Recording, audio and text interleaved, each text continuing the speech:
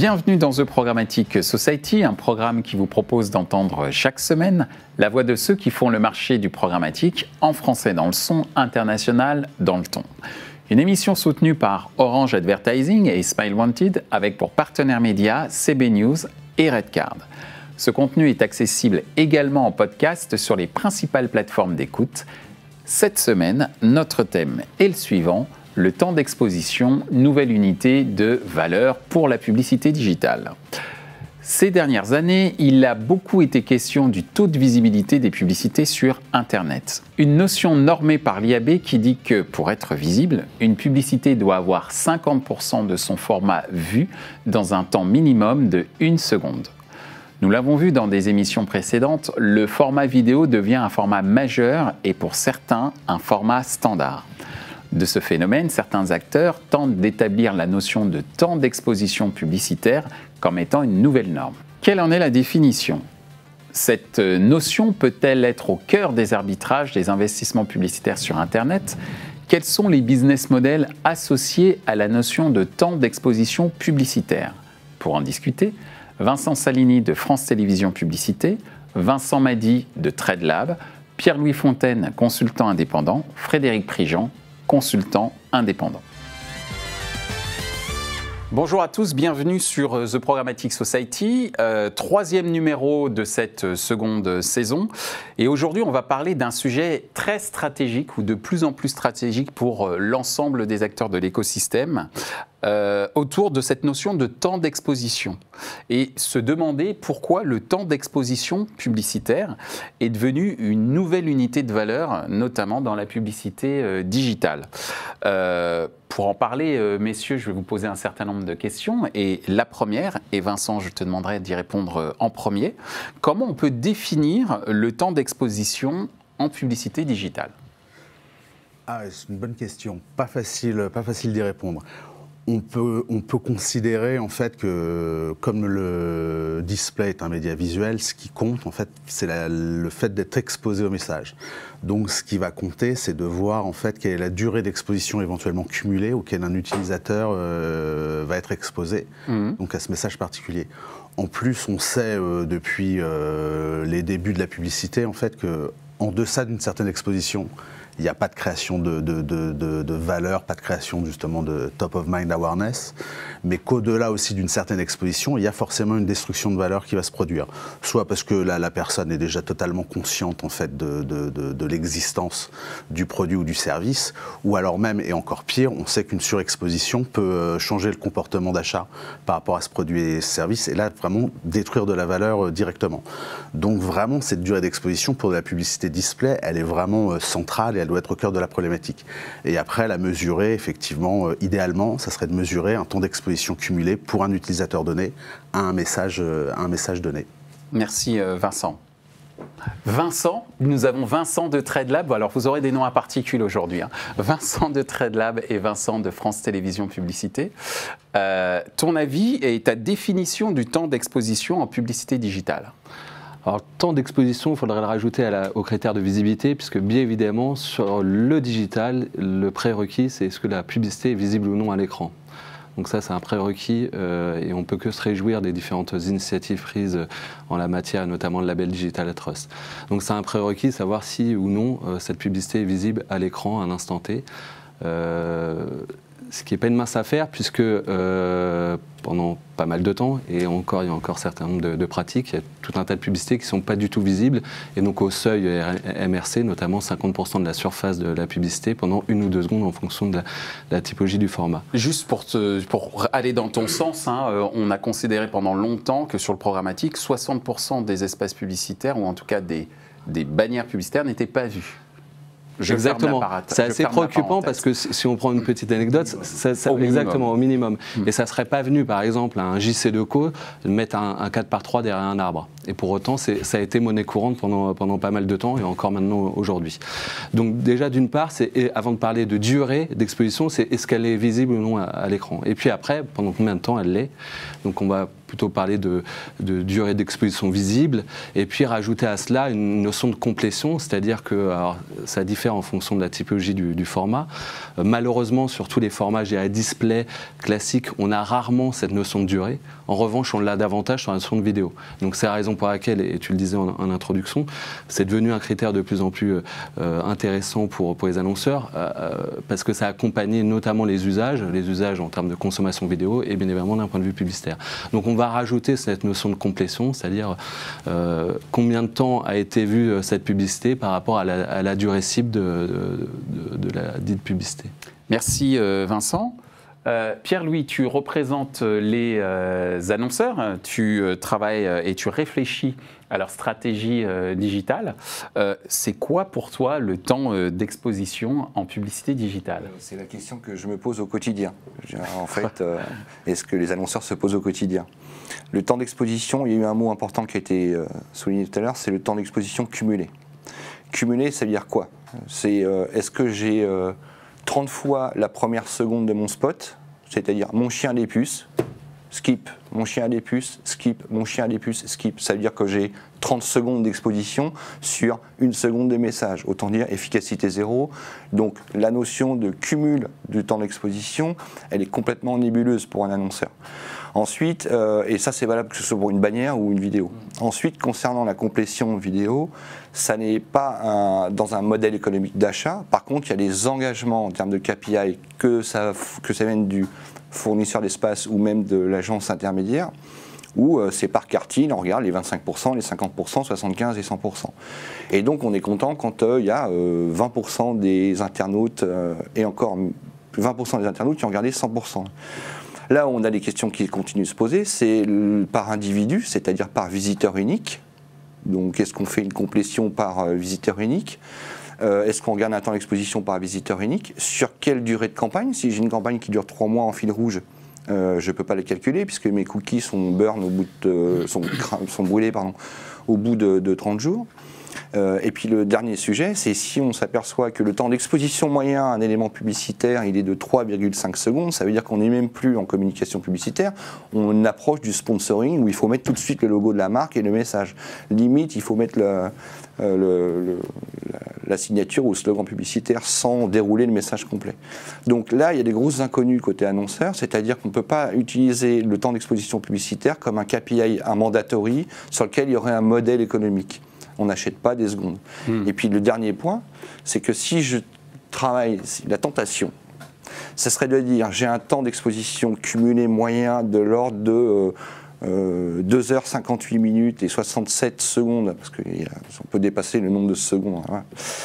Euh, je vais comparer mon coût à la seconde exposée par rapport à mon coût à la seconde exposée en télévision. Et je vais regarder mon coût réel et je vais comparer les deux médias. Donc il y a un danger par rapport à ça. Il ne faut pas le faire, bien sûr, mais la tentation de le faire est quand même là. Ma campagne télé a diffusé 2h30 secondes de contact publicitaire, ma campagne digitale 2h30 secondes, quel est mon coût à la seconde? Et le gros danger, il est là. Donc la définition, bah, elle est compliquée à...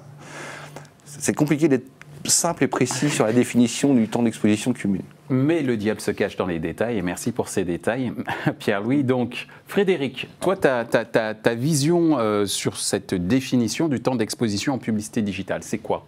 Alors, un petit peu pour. Euh, enfin, je vais un peu piocher dans ce que chacun euh, d'entre nous, enfin, d'entre eux ont dit. La première, c'est de faire le distinguo entre la notion de viewability et, la, et la, notion de view duration. Euh, il y a souvent un amalgame, ou en tout cas c'est assez peu clair pour, pour tout le monde. Euh, je dirais que les standards MRC-IAB ont, ont, eu euh, le mérite d'établir un langage commun pour tout le monde. Alors on le rappelle, hein, MRC-IAB, je dis peut-être des bêtises, c'est 50% d'une surface publicitaire pendant une seconde. Ça, c'est pour la partie display. Vidéo, on est, je crois que c'est à 2 secondes. Et pour des gros formats larges, je crois que c'est 3 secondes le, standard. Euh, et pour rebondir sur ce que toi tu disais, est-ce qu'il vaut mieux aujourd'hui, euh, je dirais, avoir une notion de visibilité euh, une fois sur du contenu à 30 secondes ou est-ce qu'il vaut mieux avoir 30 fois la même seconde consommée? Je dirais c'est une question d'arbitrage sur l'objectif des campagnes propres à chacun des, individus. Pour moi, c'est surtout faire, enfin en tout cas, ne pas faire l'amalgame entre la notion de publicité exposée et temps de consommation sur, sur le message. Merci Frédéric. On en arrive à la deuxième question qui est pourquoi aujourd'hui le temps d'exposition est devenu un critère d'arbitrage en termes d'investissement euh, publicitaire? Vincent, ton avis? Ah, parce que déjà, euh, ouais, ouais, déjà une publicité euh, qui n'est pas vue, elle ne peut pas créer de valeur. Donc ça, euh, ça c'est très important parce que pour moi, et pour rebondir sur ce qui a été dit, il y a vraiment un peu un triptyque qui va permettre, je dirais, à la publicité digitale et peut-être même à la publicité tout court de sortir de la préhistoire. C'est mesurer la visibilité. Mais mesurer la visibilité, ça veut aussi dire euh, mesurer euh, la performance de l'activation média. Parce qu'en fait, si on a une mesure de la performance qui n'est pas euh, liée à l'exposition publicitaire, bah, il y a un vrai problème. Parce que forcément, ça doit l'être. Donc ça repose. Et on voit. Alors c'est très intéressant parce qu'on voit maintenant que la, la visibilité devient vraiment une problématique centrale.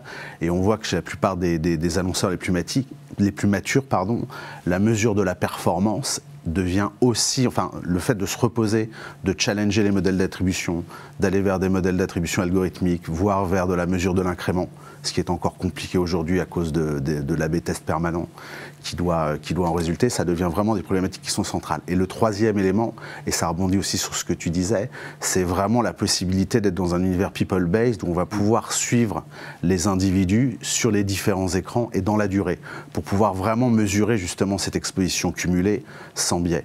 Donc ça devient très important euh, pour les inventaires, euh, pour le choix des inventaires, parce que voilà, un inventaire qui n'est pas vu peut pas créer de valeur, ça c'est certain. Donc penser le contraire, c'est, enfin une vue de l'esprit.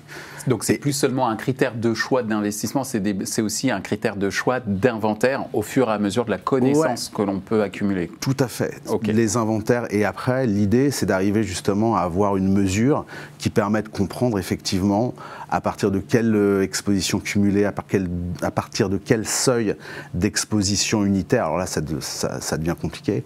On arrive véritablement à avoir, euh, un impact sur un indicateur de performance qui est euh, réel. Merci Vincent. Vincent de France Télévisions Publicité, ta vision justement sur cette fameuse question, pourquoi le temps d'exposition est devenu un critère d'arbitrage en termes d'investissement publicitaire? Moi, je pense que c'est le, le média digital euh, qui a petit à petit un- une forme de maturité euh, et de bon sens. Encore une fois, la visibilité, donc la question vue, pas vue, ça y est. Je pense qu'on commence à avoir une prise de conscience collective de l'ensemble des acteurs du marché sur la nécessité de euh, tracer ça, parce qu'en effet, une publicité qui n'est pas vue ne peut pas créer de valeur. C'est plus un nice to have, c'est Voilà. une obligation. Donc ça, c'est un, premier prérequis. Et puis, évidemment, si on se dit que la publicité euh, doit, dans la relation entre une marque et euh, un potentiel client, euh, faire savoir et faire aimer, je ne vois pas comment elle peut faire savoir et faire aimer si elle n'a pas le temps de délivrer ce message-là. Et encore une fois, c'est pas en une seconde, et je rejoins tout à fait la remarque, c'est pas en, multipliant des fragments de secondes d'exposition qu'on va arriver à faire savoir et faire aimer. Prenez un, autre exemple, un portrait robot. Si ce portrait robot, il était euh, euh, dans le cadre d'un appel à témoins, il était à moitié visible, euh, un quart de seconde dans un encombrement, c'est-à-dire avec une surface d'exposition sur, l'affichage, il n'y aurait aucune chance qu'on retrouve, la, personne. Donc c'est juste du bon sens. Donc après, la difficulté qu'on a, euh, c'est qu'il est de plus en plus utilisé comme un critère d'efficacité, avec tous les biais, on, y reviendra, et Pierre-Louis on, on a exposé un certain nombre. La problématique qu'on a, c'est cette monnaie d'échange. Nous, on travaille dessus, c'est-à-dire qu'aujourd'hui, la monnaie d'échange sur le digital, et, et le nom de cette émission s'appelle Problématique, c'est le CPM. Et donc le CPM, on est dans une approche binaire, vu, pas vu, ou euh, seuil, pas seuil. Alors, la problématique du seuil, c'est que par exemple, une publicité qui aurait été vue, si, euh, si un annonceur définit le seuil comme euh, 70% de complétion visible, une publicité qui aurait été vue 69%, elle n'est pas comptabilisée, potentiellement pas facturée, etc. Et pour autant, elle a eu néanmoins un Ouais. impact. Donc voilà, c'est toute cette difficulté-là. Euh, mais encore une fois, euh, je pense que euh, c'est la capacité aux médias à euh, proposer une exposition dans un contexte, euh, parce qu'il y a aussi cette notion de contexte, d'encombrement, etc. Donc ça, ça soulève tout un tas de Bien sujets. Aujourd'hui, juste euh, pour conclure, on, a, on assiste également à une dérive, c'est-à-dire que on a, euh, tu parlais de la vidéo précédemment, on a tout un tas de players qui, dans le passé, se lançaient en autoplay, en bas de page, donc pas visible du tout. Ça y est, une prise de conscience. Maintenant, ils, ils sont, ils se lancent en autoplay, en bas à droite de l'écran. La complétion visible est à 100%. L'attention est nulle. Très bien. Merci euh, Vincent pour ces, euh, pour ces précisions. Alors justement, parole, euh, au porte-parole de certains annonceurs. Euh, critères d'arbitrage en termes d'investissement publicitaire Oui, et pourquoi? Ce sont des KPI qu'on donne aux agences et à nos partenaires médias. Hmm. Euh, ensuite, on travaille sur du constaté. C'est-à-dire que euh, ne peut pas savoir à l'avance euh, si notre inventaire, nos, messages publicitaires ont été correctement diffusés ou pas. On, ne travaille qu'en constaté. Ce qui fait qu'en fait, un, un partenaire média euh, sort des plans ou reste dans les plans, mais a posteriori, après analyse. La programmation euh, initiale qui consiste à utiliser euh, des outils comme euh, IAS par exemple, Mm. faire du pré- pré-bidding et tout ça nous permet de d'arrondir les angles. Il ne nous garantit pas à date le- la, la- la complétion idéale et absolue. Mais je reviens encore une fois sur la nécessité absolue d'avoir un, un individu en face de nous. Si je sais que mon message sera vu qu'à 3 secondes maximum, si je le sais et que je suis capable de le contrôler, je vais dire bonjour, je m'appelle euh, X, voilà ma promesse et voilà mon support promesse en trois messages différents de 3 secondes différents. Si on me garantit que j'ai un individu unique qui sera exposé trois fois à ma marque et à mon message et à ma promesse, à ce moment-là, tous les annonceurs, ça va être le premier critère d'achat, il va être là. Quand on fait du GRP télé, la phrase type, c'est de dire moi j'ai 50% de mon GRP que je jette à la poubelle. Eh ben, Internet a une occasion absolument énorme de dire ben, moi non seulement euh, je te, je te le garantis, mais je te le garantis avec trois niveaux de messages différents sur un individu, un cumul à 9 secondes et trois messages à l'intérieur. Demain, si cet outil existe et qu'on est capable de lancer ça, le marché va complètement euh, changer et ça justifiera d'autant plus l'utilisation de la vidéo qui aujourd'hui euh, n'est pas forcément euh, le meilleur outil du marché en termes de communication sur le digital, clairement. Une information clé que tu viens de donner. Merci Pierre-Louis. Frédéric, Euh, bah, je rejoins tout le monde. L'engagement, euh, bah, clairement, dépend euh, bah, du temps d'exposition.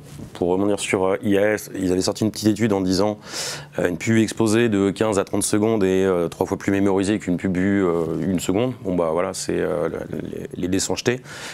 Moi, je crois que côté, éditeur, donc le côté, côté diffuseur, autant j'ai l'impression qu'il y a énormément d'outils chez les acheteurs, les planeurs, les traders, autant les éditeurs restent toujours un petit peu perdus, un peu au milieu du guet, sans forcément trop savoir. Je suis un éditeur premium, euh, comment je fais pour revaloriser ou remonter, je dirais, mes contenus premium?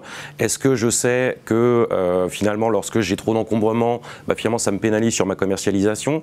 Et on reviendra après, enfin, on, dé- on déroulera sur la partie euh, les nouveaux modèles éco euh, derrière, typiquement du coût par heure, défaut de faire du coût par seconde. Je pense que pour l'ensemble des éditeurs, ce ne sera pas valable. Pour certains d'entre eux, oui, certains vont très bien s'en sortir. Et l'autre remarque que je vais faire, c'est euh, la mesure de l'exposition, enfin le temps d'exposition, c'est très bien. Encore une fois, je pense que c'est pas nécessairement adapté à l'ensemble des supports. Euh, je ne sais plus, euh, je crois que c'était chez Adverline. en gros, lorsque je suis sur un site à contenu euh, plutôt intentionniste, donc j'ai déjà préqualifié mon audience, est-ce que c'est nécessaire ou est-ce que j'ai une absolue nécessité de satisfaire les, les standards marché Est-ce que ce qui est vrai pour un éditeur de news va être également ISO pour un autre éditeur? Moi, c'est un peu les questions que je me, voilà, qui, qui sur, sur ces sujets-là. Merci euh, Frédéric. Tu voulais peut-être réagir, je t'ai vu euh, réagir sur un propos euh, sur la capacité de l'éditeur de qualifier entre guillemets si la, vidéo peut être vue dans de bonnes conditions, en tout cas répondre aux KPI exigés par l'annonceur. Oui, alors chez France Télévisions Publicité, on s'est équipé d'outils. On citait Integral Science, on a fait ce, choix-là. Il y a d'autres sociétés. On, on- a Integral Science qui mesure en temps réel l'ensemble de nos inventaires, enfin l'ensemble des inventaires éligibles. Quand, encore une fois, c'est des différents fonctions des devices. Par exemple, sur l'IPTélé, qui représente quand même une part significative, mais on travaille néanmoins avec IAS dessus. C'est pas encore euh, live, c'est pas encore mesuré. Néanmoins, on a néanmoins des données de de, de complétion en partant euh, du principe que sur un écran de télé et à partir du moment où on a la publicité qui est plein écran, elle est euh, mécaniquement visible. Donc on s'équipe, on s'outille là-dessus. On a des engagements forts, euh, sans faire euh, de, la réclame, sur, euh, sur notre univers France-Télé. les taux de complétion ils sont entre euh, 90 et jusqu'à plus de 98% euh, de complétion visible. Et donc ça mesuré par un tiers, c'est pas des, des- données maison. Après on va même plus loin, c'est-à-dire qu'on a certaines offres où on s'engage à 100% de complétion garantie, complétion visible encore une fois. Sur la remarque par rapport aux différents éditeurs, c'est là où moi je suis un peu, un peu embêté, c'est-à-dire que Nous, on a une promesse qui est forte, c'est un contenu de qualité, avec un engagement qui est fort, notamment sur le replay, parce qu'on va vraiment, euh, c'est un geste intentionniste d'aller consommer tel ou tel programme, euh, un C'est dans l'air par exemple, sur, sur la plateforme France.télé, avec euh, cette volonté d'avoir une publicité qu'on qualifie de responsable et raisonnée, c'est-à-dire limiter l'encombrement, etc. Après, on fait en sorte que cette publicité est, visible un maximum de temps et, on en voit. À partir du moment où le contrat de, de lecture est fort. Donc la problématique qui se pose, c'est sur, euh, sur les, autres univers, euh, euh, je dirais, les autres formes narratives, où en effet la publicité est plus difficilement intégrée et c'est d'autant plus complexe d'arriver à des notions de durée visible et complétée importantes. Mais des éditeurs, au-delà du label Digital Atroce, euh, on a des engagements forts, on s'outille pour être euh, référent euh, et avec des tiers de confiance, Integral Science en, fait partie. Alors justement, puisqu'on parle d'outils, merci pour la transition. Est-ce que les outils qui mesurent le temps d'exposition publicitaire sont fiables? Je pose cette question de manière très naïve parce que lorsqu'on parlait de la visibilité publicitaire, on a vu des outils différents qui donnaient des résultats différents. Ce qui a poussé d'ailleurs à une sorte d'aberration, on pourrait dire, opérationnelle au regard des médias historiques. On a vu certaines agences s'équiper de tous les outils pour pouvoir répondre euh, en fonction de l'outil euh, utilisé par l'annonceur et en fonction de l'outil utilisé même par le diffuseur. Donc je donne juste le contexte de ma question du est-ce que ces outils, s'ils existent, qui mesurent le temps d'exposition, sont fiables? Est-ce que ça ne demanderait pas peut-être une sorte de tiers de confiance par rapport à cette fiabilité? Vincent, je te pose la question. Alors, d'un point de vue technique, aujourd'hui, ça a beaucoup évolué parce qu'il y a des, alors sans rentrer dans des, euh, dans des considérations trop technologiques, euh, aujourd'hui, euh, au niveau des navigateurs, il y a des API qui permettent de mesurer en fait la visibilité d'un élément sur la page de manière complètement standardisée. Mhm. Ce qui fait qu'aujourd'hui, on arrive quand même en fait à avoir des, avoir des, des, mesures de visibilité qui sont relativement homogènes, enfin beaucoup plus homogènes qu'elles ont pu être par le passé. D'accord. Mais aujourd'hui, le gros problème, il est plus dans le fait de pouvoir, je dirais, éventuellement d'ailleurs mesurer de la visibilité cumulée, parce qu'aujourd'hui effectivement on mesure euh, bah, les durées d'exposition euh, impression par impression, mais pour reconnecter ça au niveau de l'utilisateur, aujourd'hui il n'y a pas vraiment de solution. Donc on est obligé de le faire a posteriori. L'autre problème, c'est qu'il y a certains, euh, certains inventaires qui ne te permettent pas de faire de mesures en temps réel. Donc forcément, ça passe par des logs et euh, souvent on n'a pas la possibilité de pouvoir reconnecter ça au niveau de, l'utilisateur. Donc là, en fait, on perd la possibilité de faire de, de l'exposition cumulée en temps réel. Parce que l'intérêt, en fait, de pouvoir le faire en temps réel ou en temps quasi réel, c'est de pouvoir avoir une sorte de feedback loop qui, derrière, va permettre justement d'optimiser la diffusion publicitaire en fonction de la, durée d'exposition cumulée. Je pense que les, problèmes que je vois, moi, aujourd'hui, sont plus à ces deux niveaux qu'au niveau de la mesure euh, de, la visibilité de la durée d'exposition publicitaire euh, en tant que telle.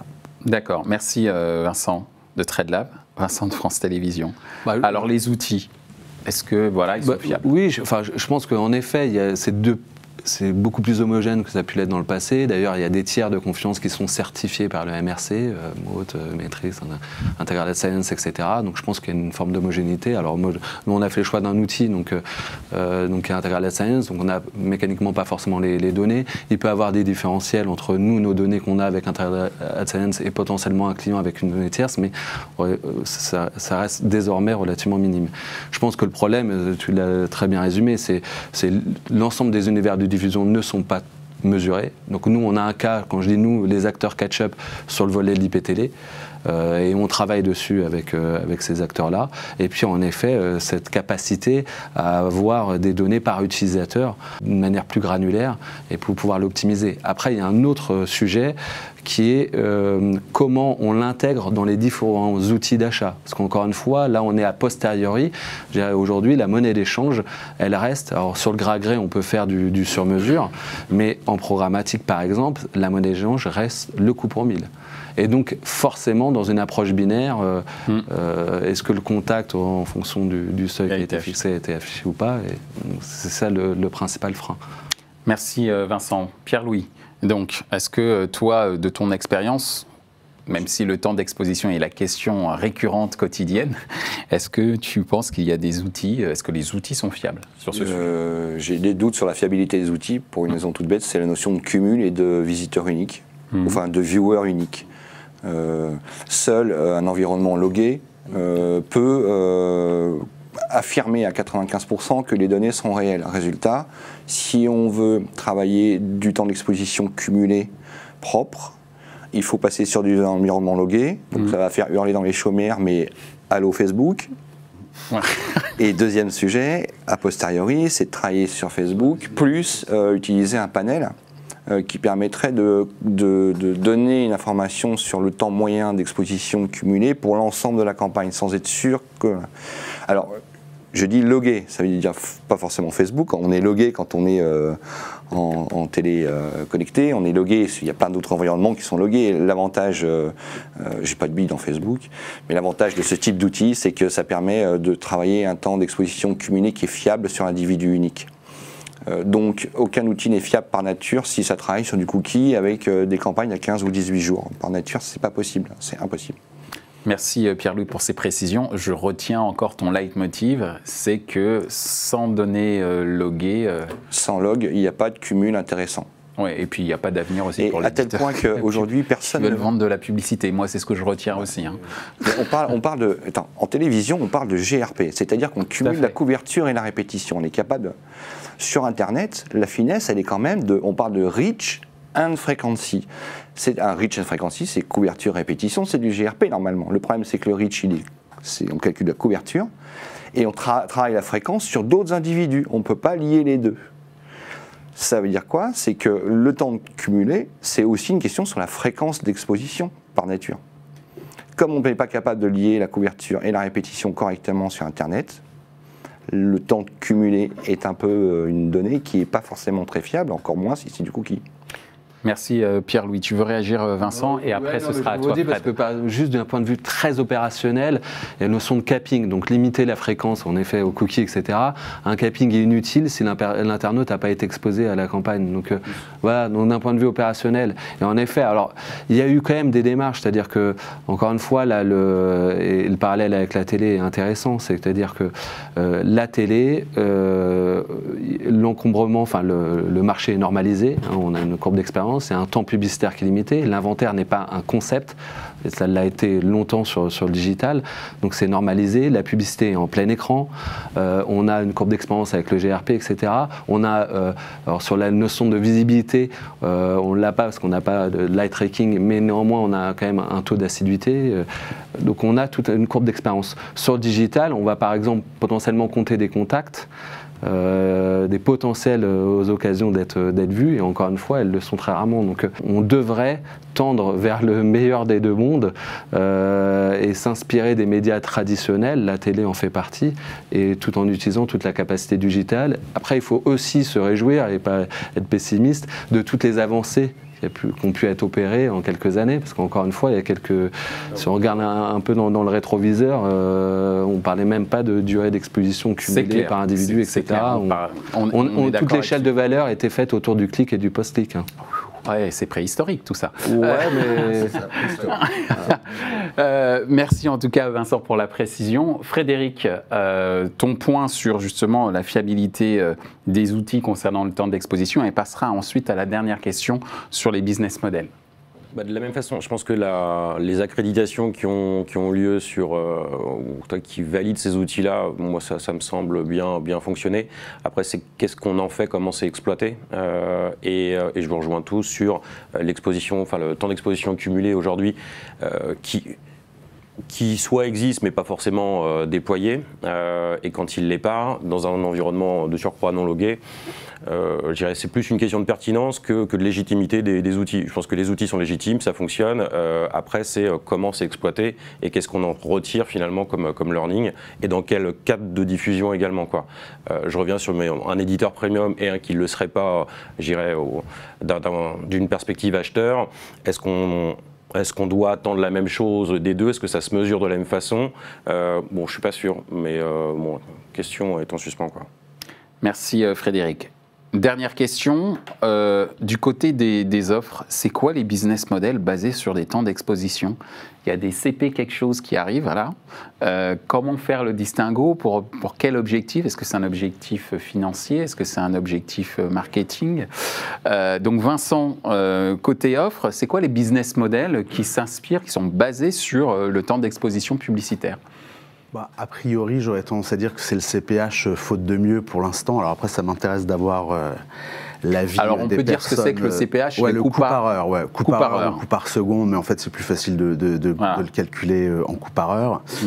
Euh, après, de toute façon, moi, je pense que in fine, et ça, effectivement, par contre, il faut être dans des environnements logués, c'est-à-dire c'est le people-based. Mm. Ça, c'est très important. euh, c'est- mais in fine, l'exposition cumulée, ça remplacera le capping. Parce que le capping, comme le cookie, euh, c'est un biais. Enfin, ces deux biais, je suis tout à fait d'accord euh, avec ce qui a été dit euh, juste avant. Euh, in fine, en fait, on mesurera euh, des individus avec des durées d'exposition cumulées un message publicitaire. Et là, on arrivera vraiment à avoir des choses relativement fiables qui remettront en avant, d'ailleurs, une mesure de la performance.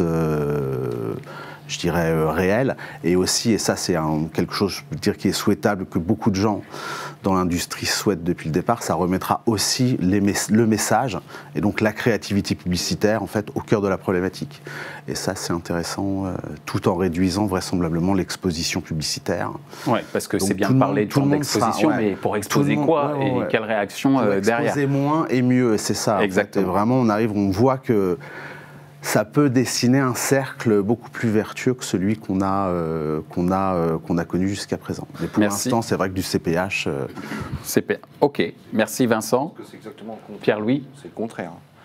Le- euh, Vas-y. pas- on, sait- on est au CPH.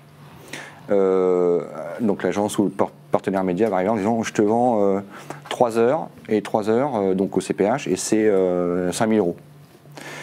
Bon, ok, donc 3 heures, 5000 euros. Donc déjà, à 3 heures, 5000 euros, qu'est-ce que ça va m'apporter en incrémental vente d'un point de vue annonceur? Mais ça, c'est une autre question derrière.